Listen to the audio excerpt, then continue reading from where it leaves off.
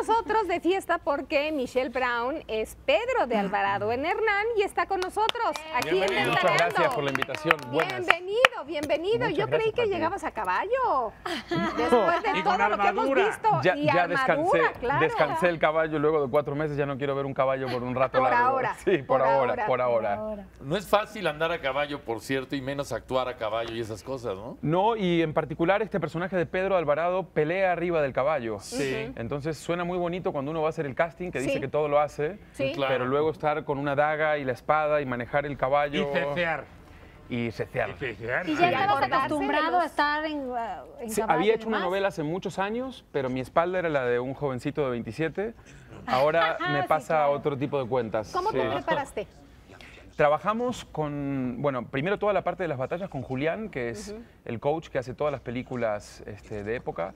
Estuvimos un mes, primero trabajando espadas, dagas, después caballo, después caballo y espadas.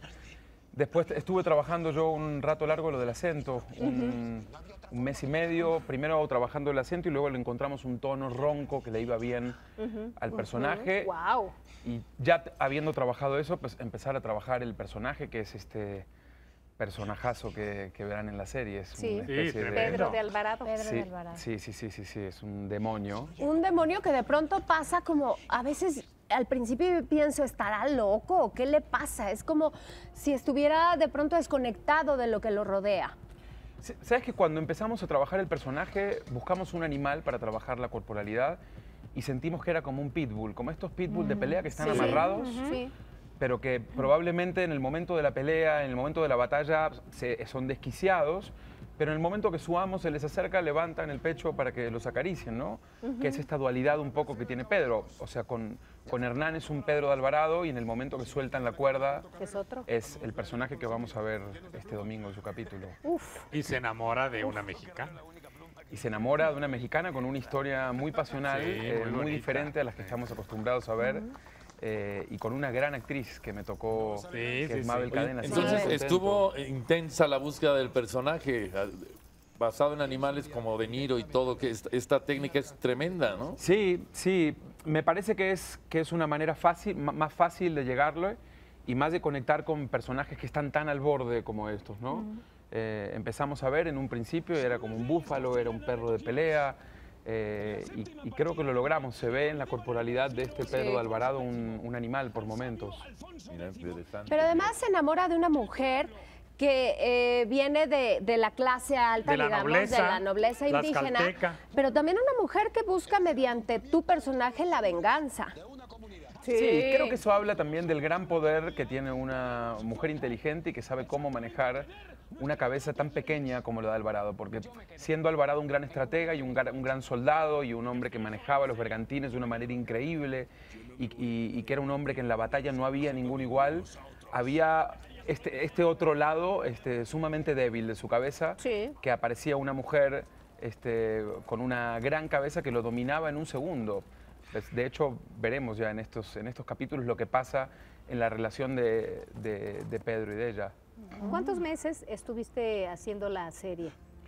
Estuvimos cuatro meses Cuatro. eh, rodando y dos meses preparando nosotros los personajes. Recorriendo México, Veracruz. Hicimos un trabajo bien interesante que creo que se debería hacer en general cuando se hace una, una serie de época. Nos fuimos a Veracruz, a la playa donde entraron los barcos.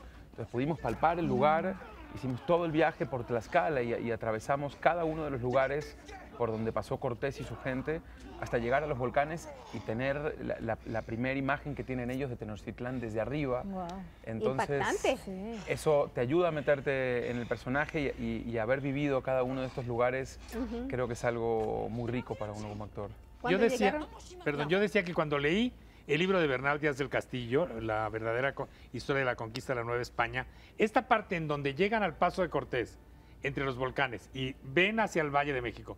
Y todo eso se lo imagina uno. Y en la novela uno lo puede ver. Claro. En la serie. En la serie. En la serie. De hecho, hay una imagen que para los que leyeron el Preciosa. libro exactamente lo que decís. Preciosa. Creo que cuando lees el libro y ves esta imagen hay, hay Ahí mucha está. similitud. Sí, y hay preciosa. una cosa de neblina también, ¿no? Que le da Sí, este, sí, sí. una porque la fotografía es preciosa. Nos Todo decía- está muy bien hecho. Nos decía, ¿cómo se llama? Jainada, que en, Cal- en Veracruz los españoles se morían de calor por todas las armaduras y las pieles. Y luego a la hora de pasar el paso de Cortés el frío, No, los pobres indígenas encuerados Pues. Claro. ahí estaban Sí. tiritando. Con un frío que ahí te encargo. Pues sí. Y lo mismo pasaba igual en, en el backlot en, en Xochimilco, ¿eh? porque en, la- en la mañana era un frío terrible y al mediodía estabas calorón. peleando con armadura, pues yo con peluca, con sombrero. Este, es- sí, fue ruda de grabar, pero, pero muy bonita. Muy ¿cómo bonita. no? Debe de ser como un, un garbanzo de, de oro Sí. cuando un actor tiene un personaje como este, ¿no? Sí, la verdad sí es... Cuando me llamaron la primera vez me parecía muy extraño porque estaban buscando a- al, al español, Pedro de Alvarado, pero creo que por una cuestión de características físicas no lo estaban encontrando. Y cuando me lo propusieron, evidentemente eso pensé. Son esos personajes que es muy difícil que te lleguen Que vuelvan. y, y cuando te llegan es muy difícil coronarlos en el casting porque Claro. evidentemente lo tiene más fácil un español. Claro. Pero son deliciosos de hacer, la verdad yo estoy muy contento y muy, muy te ves agradecido. bien. Te ves Ya viene bien. la segunda bien. temporada. Te ves Gracias. bien. Te Ya viene bien. la 2. Pues en eso estamos, en eso estamos, creo. año entrante. Que el año entrante. en Así será. Sí, así sí. Qué será. bueno. Ojalá. Así Gracias sea. por tu visita. Gracias a ustedes. Y felicidades. Seguiremos viendo, Felicidades. Hernán, la serie.